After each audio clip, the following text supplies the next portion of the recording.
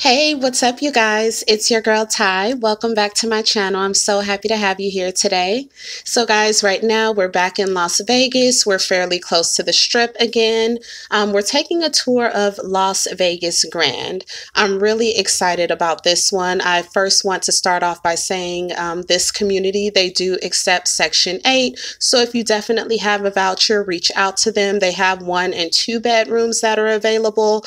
The square footage is huge.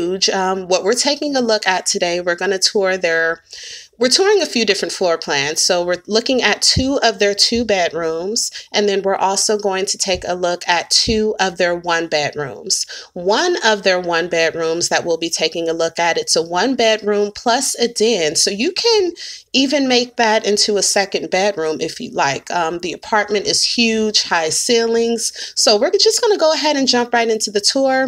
I'll be sure to leave all the information in the description box per usual. But I thank you guys for the support. I hope you're having an amazing day so far, and I'll see you very soon on our next tour.